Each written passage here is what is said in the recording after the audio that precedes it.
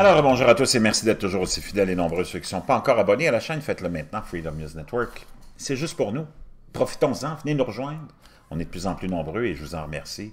Merci à tous nos collaborateurs qui nous envoient des liens constamment pour nous garder informés sur tout ce qui se passe vraiment, c'est essentiel et on vous en remercie. On est euh, lundi, c'est toujours ce lundi 26 août 2019, 17h pile l'heure du Québec. C'est un signe. C'est un signe qui nous rappelle que c'est une journée historique. C'est un temps historique, c'est un 17 h historique parce qu'il n'y en aura pas d'autres.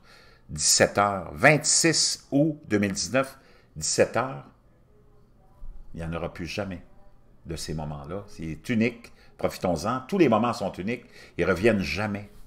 Il ne faut jamais avoir de regrets non plus. Savez-vous pourquoi il ne faut jamais avoir de regrets? Parce que ce qui devait être fait devait être fait.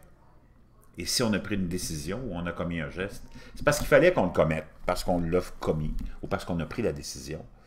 Il ne faut pas le regretter. C'est là où on devient anxieux, malade, quand on revient dans le passé. Ça ne donne pas grand-chose de revenir dans le passé, sauf pour apprendre de nos erreurs. Et se dire, c'est-tu quoi, je l'ai fait, c'est une erreur, j'ai perdu ça. C'est un drame, mais c'est fait. Ça ne donne rien de pleurer sur ça. On ne pourra jamais le changer, le passé. Il est déjà disparu. C'est 17h01. Je ne peux plus retourner. À 17h, c'est fini. Fini pour toujours. Puis dans une minute, 17h01, ce sera fini pour toujours. Voyez-vous? Puis ça continue comme ça et ça continue comme ça. Donc, il ne faut pas avoir des romans, sinon on va devenir fou. Ce qu'il faut faire, c'est, oui, retourner dans le passé pour comprendre ce qu'on a fait, voir ce qu'on a fait, puis se dire, sais-tu quoi, si ça, ça se représente, puis je suis pas content de ce qui s'est passé quand j'ai pris ma décision, ben je ne le referai plus. Et c'est ça la beauté de la vie, c'est qu'on a cette chance-là qui revient. Parce qu'il y aura un autre 17h02, on est rendu à 17h02. 17h01, c'est déjà fini. 17h02, dans 60 secondes, ce sera aussi du passé. Mais la beauté, c'est qu'il y aura un autre 17h02 demain, puis il y en aura un autre après-demain, puis après-demain, mais ce sera un autre 17h02, ce ne sera plus le même et je pourrais faire un 17h02 beaucoup plus, si j'ai fait un 17h02 dans le passé qui était catastrophique, ben je pourrais en faire un vraiment bénéfique. Comprenez-vous?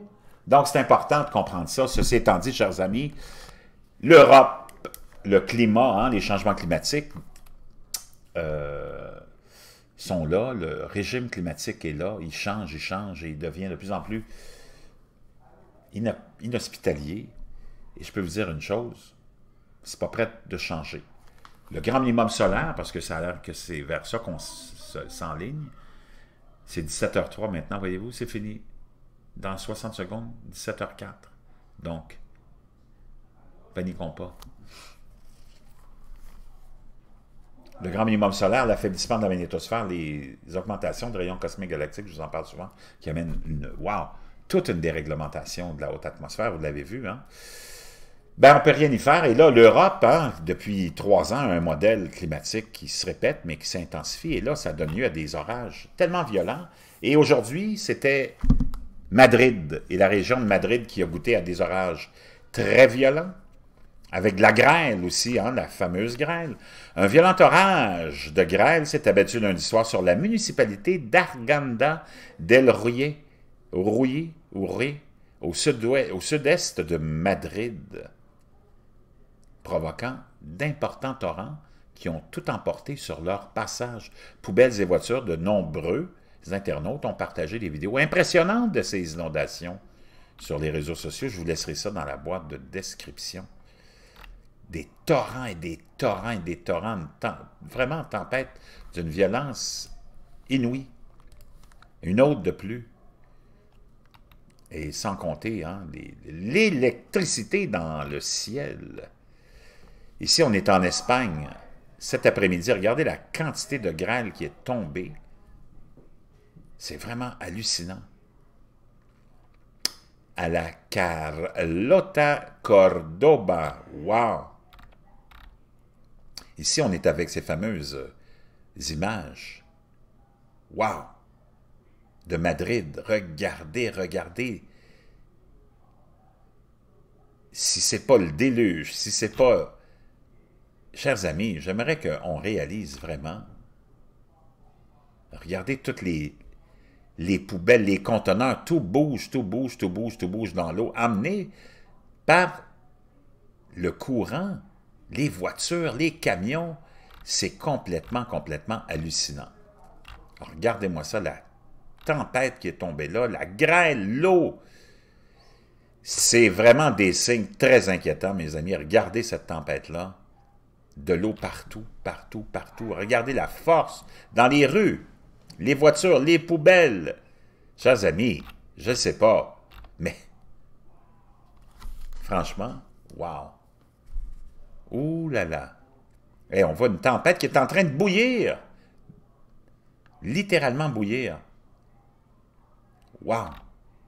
C'est hallucinant. Ce qui se passe en ce moment, c'est unique. Ça ne s'est jamais vu. Ça se verra probablement plus. Et ça va, ben, ça va se voir pour des années, des années, mais c'est un cycle qui est là, mais qui ne reviendra pas euh, de sitôt. Hein. mais on va le vivre pendant longtemps, longtemps, longtemps, longtemps. Wow! Si vous n'êtes pas convaincu qu'il y a quelque chose qui se passe en ce moment qui est plus grand que nous, plus grand que nature, et que c'est pas fini, Avez-vous vu l'intensification d'année en année depuis trois ans en Europe? Là, j'ai hâte de voir la prochaine cible, sûrement ce sera Paris bientôt, qui sera touché par ces inondations annuelles depuis deux, trois ans. Hein. C'est... Wow!